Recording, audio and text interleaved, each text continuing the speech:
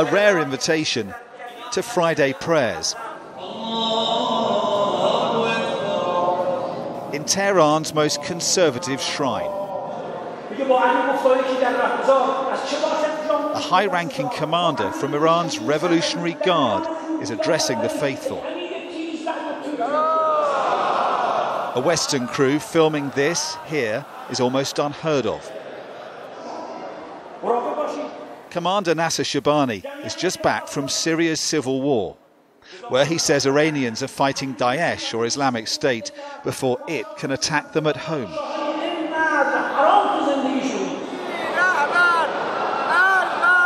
Familiar chants against the West. Death to America, death to Britain, death to Israel and Saudi Arabia.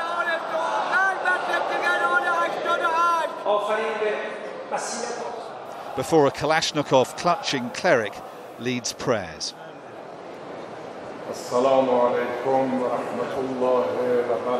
In a week's filming, we were given unprecedented access to a country that remains deeply conservative, but is also undergoing profound change.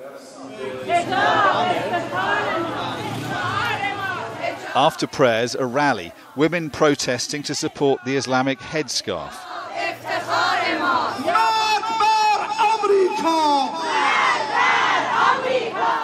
Young people chanting again against the West, but this time with impeccable politeness, apologising for it too.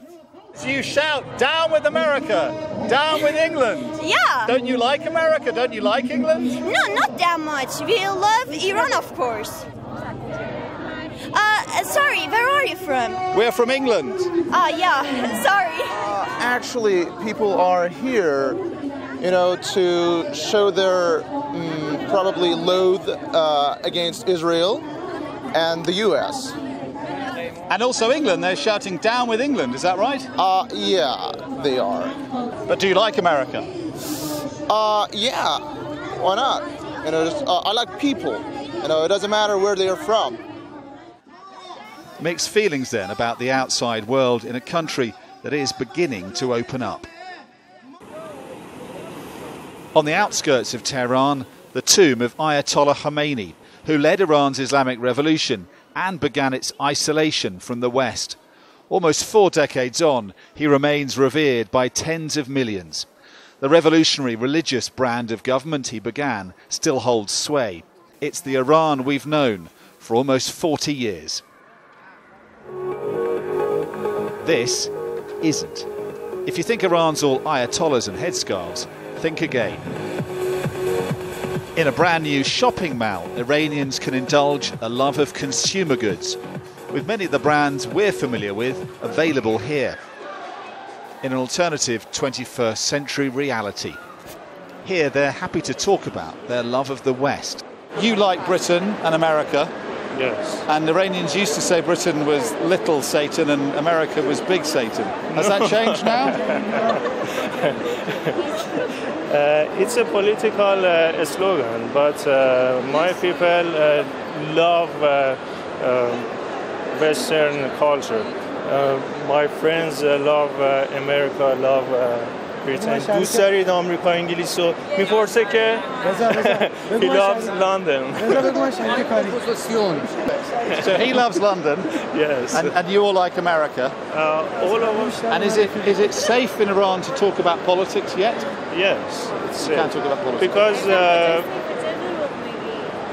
she says uh, you're lying, but I say uh, it's safe to say uh, our favorite politics uh, conditions. But um, I'm not activist. Uh, if you be activist, uh, it's maybe a danger. If you're an activist, it's dangerous. Yes. When I travel to Iran, I can see it. Everything's changed, especially young people and situation. Yep. Yes. uh, Is, is life getting better here? Do you think? yes, I think so. Yes. I think so, Absolutely. More freedom for young people. Up to a point. Human rights groups have serious concerns about civil liberties in Iran. But once strict rules about clothes and behaviour are being relaxed.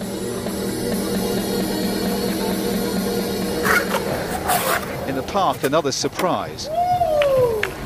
it's hard to imagine anything more Western than a skate park. Iran's government is building lots of them. Apart from the headscarves, you could be anywhere in America. We talked to Irfan Rastami, soldier turned skateboarder. He doesn't like everything he hears about the West.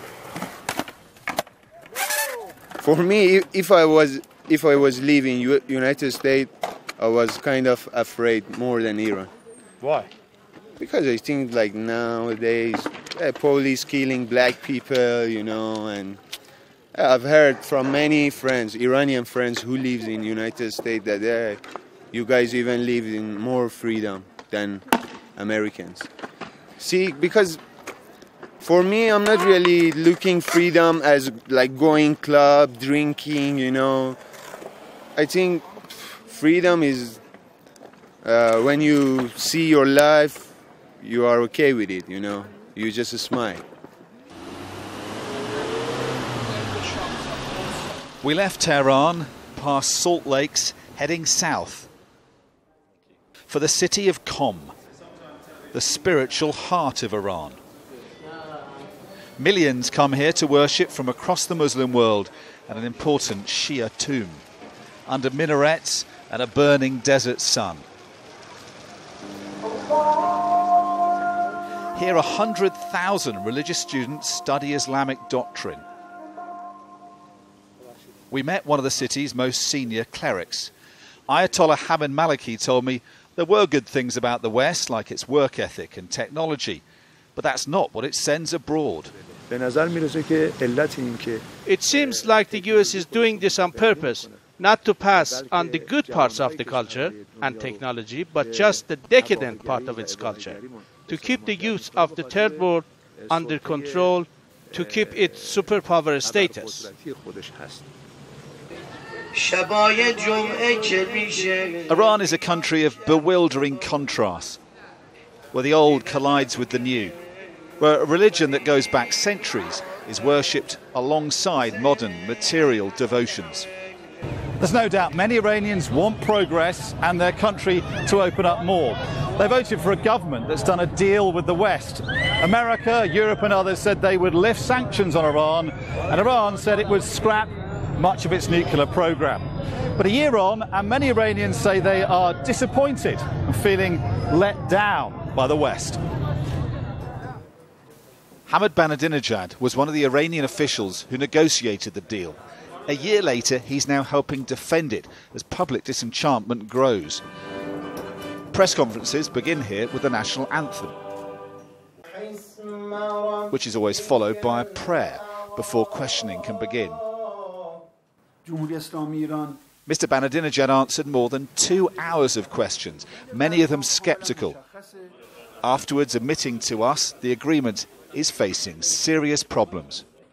You've had a lot of questions today. Do you think that there is uh, the deal is in some doubt now in Iran, one year on? No. Because you had a lot of questions. It was a two-hour Sure, press conference. Sure, sure. Uh, Are there doubts in the Iranian government that this will work now? No, there is no doubt it, it's working well, but there are problems, there are impediments, obstacles that we are, in fact, determined, and all of us with the, the good cooperation from our colleagues to to overcome them and, and resolve them. How significant are those obstacles, do you think? are they serious obstacles? They are serious because uh, it's not only the question of the subject matters, but it's the question of the commitments of the other side to be complying with their obligations. Dive into the Grand Bazaar of Tehran, and you'll be told the hopes of a year ago are melting away. Lifted sanctions aren't being felt much here, they say. Carpet seller Mehdi Gazvinian says the grand bargain Iran struck with the West is not being honoured by the other side. So the deal with America, Yeah, has that helped your business? a little bit, not so much, but it was a, uh, just a, a small hope, you know, for future. But until now, no happens. Not much difference. No, not much difference. Opinion polls say the nuclear deal is increasingly unpopular with Iranians.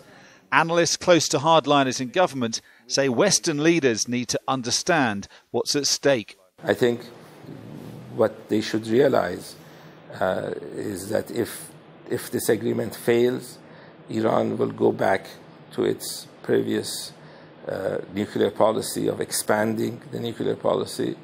Uh, and some people in Washington are not going to like that.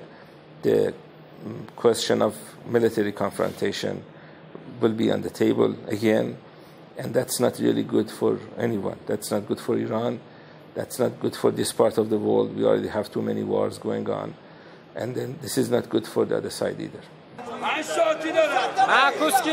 Outside the bazaar, furious trading in gold futures on the black market, a kind of underground Iranian Wall Street, and a sense of the country's untapped economic potential. Okay, welcome now. You're at Business delegations hoping to make the most of it are brought here, a tower soaring above Tehran. A steady stream are coming to enjoy the view and do business here, but not the number Iran had hoped.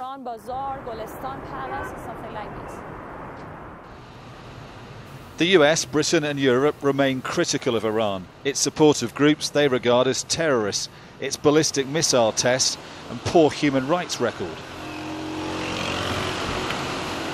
But both sides had agreed to work towards ending years of animosity.